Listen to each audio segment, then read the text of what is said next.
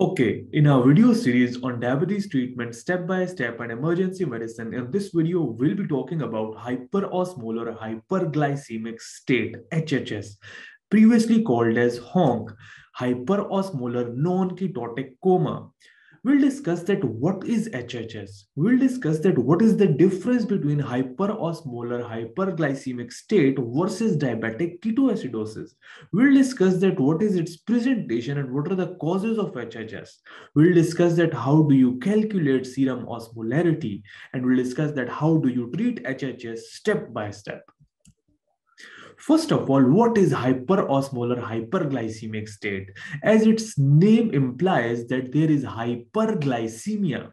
Hyperglycemia with sugar levels above 600 milligram per deciliter. Due to excess sugar accumulation in blood, the osmolarity of blood also increases. So blood is hyperosmolar with increased osmolarity, osmolarity greater than or equal to 320 millimole per kg with hyperglycemia and hyperosmolarity, there is dehydration in HHS. Why is there dehydration? Since there is excess glucose in the blood, body tries to push that glucose out of the body, excrete that glucose out of the body in urine.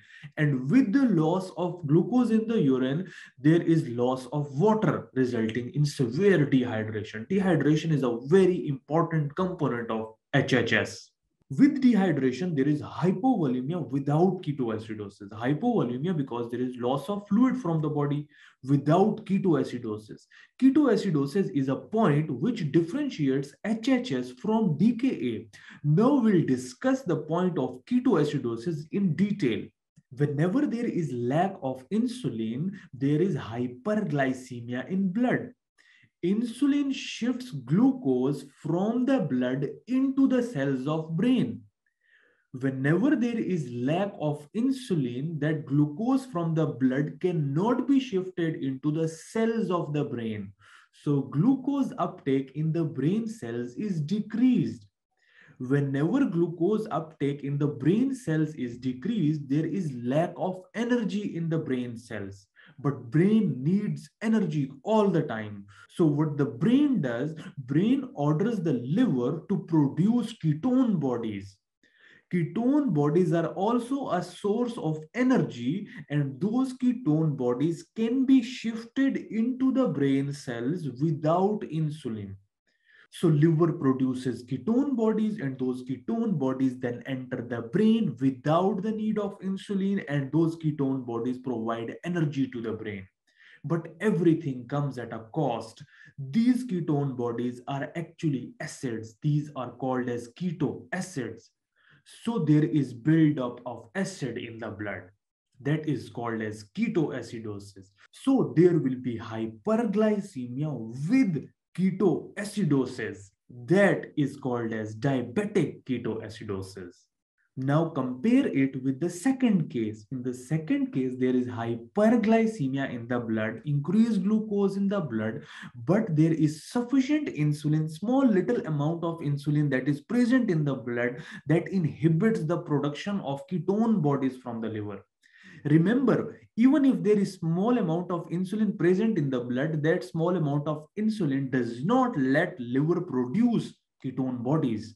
It says that I am there in the blood. I have to do this job. I have to transport glucose into the brain cells.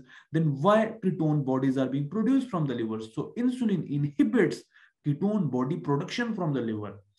So on this side, there was total lack of insulin there was total lack of insulin therefore ketone bodies were produced. But on the right side there is some small little amount of insulin present in the blood that inhibits ketone body production from the liver but that small little amount of insulin cannot control blood glucose levels. So the, the insulin is not enough to control blood glucose levels but that small little insulin can inhibit ketone body production from the liver so that small little insulin that is present in the blood is not doing its own job and it is not letting the liver produce ketone bodies. So that is a condition in which you will see hyperglycemia without ketoacidosis.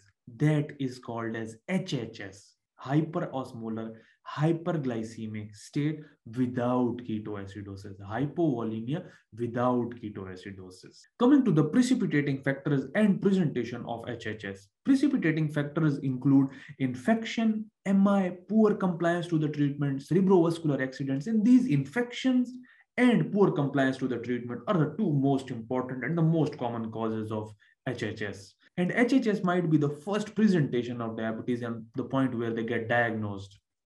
Presentation of HHS is very vague. A diabetic patient might come to you in ER and may complain of muscle cramps, confusion, fatigue, profound weakness.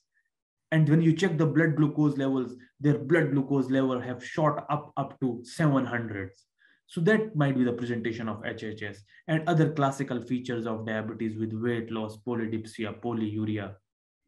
Coming to the management of HHS. HHS management is almost the same as DKA management with slight differences. I have talked about DKA management in detail in my video on uh, diabetic ketoacidosis treatment. You can check out the link in the description below. Coming to the management, first of all, we have a stepwise plan running through the investigations to the treatment. You check the blood glucose levels of the patient and the patient has blood glucose levels greater than 600 milligram per deciliter. Then you check the serum ketones and you also go for urinary ketones in HHS. We did not prefer urinary ketone in DKA, but in HHS, we also go for urinary ketones. We check serum ketones, we check urinary ketones, and urinary ketones are in normal ranges. They are not raised because there is no ketoacidosis. You send electrolytes, you send the ABGs, and you look for the cause, you look for the precipitating factor. And according to the history of the patient, you look for, search out for the infections, you go for chest x-ray, you do ECG to look for MI, you do LFTs, troponins, blood culture, CBC, RFTs, depending upon the history, you select the investigations and try to search the cause because you want to treat the cause as well whatever is precipitating HHS. Then when your electrolytes are back, RFTs are back and you have the blood glucose levels, you calculate the serum osmolarity. As I said, the serum osmolarity will be high, the serum osmolarity will be up because that is what makes HHS hyperosmolar. Serum, you calculate serum osmolarity through 2 into sodium levels plus glucose in mg per deciliter. In this formula, you put glucose in mg per deciliter divided by 18 plus BUN, which is the urea level in mg per deciliter divided by 2.8 and you get an answer. Normally the serum osmolarity is between 270 to 290. But in these patients, you would find the serum osmolarity to be above 320 milliosmol per kg. They are hyperosmolar. So they have hyperosmolarity with hyperglycemia and no ketones, that is HHS. You pass two IV lines and you start IV 0.9% normal saline. As I said, the dehydration is the most important component of HHS, and it is also the most important part of the treatment of HHS. De correcting dehydration is the main priority in HHS. Usually, the typical deficits in these patients, a 70 kg adult would have a typical deficit of 8 to 15 liters so you have to correct it with fluid replacement. You give lots and lots of fluid so that this hyperosmolarity that has accumulated due to hyperglycemia and diuresis, you correct it with fluid replacement. Then you start fast acting insulin at low dose 0.05 unit per kg to 0.1 unit per kg, or you can simply start an infusion at 3 units per hour. Remember, insulin is not the main part of treatment of HHS. It's the fluid replacement which is the main part of the treatment. Proper fluid replacement can correct hyperglycemia and it can also correct hyperosmolarity. So insulin is started when you are unable to control blood glucose level despite giving fluids. In that case, you give insulin and you start an insulin infusion. Now you have started the patient on insulin, you have started the patient on fluid replacement, and you check the blood glucose every hourly. Slowly and gradually, the blood glucose levels are coming down, and you check the electrolytes. Now, there are two things that you have to do after some time. You have to do potassium replacement you have to do potassium replacement because when you are giving insulin, that insulin drives the potassium in the blood into the cells.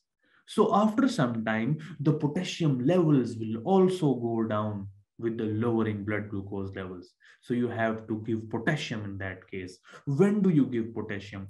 You check the blood potassium, you do the electrolytes, and if the potassium level is greater than 5.5, no action is needed. But if the potassium is within the normal range, 3.5 to 5.5 millimole per liter, you give potassium in that.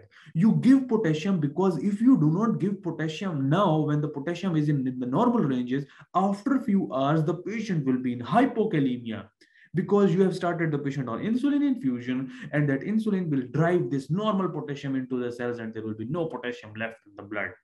So you have to give potassium when the potassium is within the normal ranges. You give 40 millimole per liter. You take a one liter normal saline, you put two ampules of potassium in it, and you start it at a rate of 20 millimole per hour.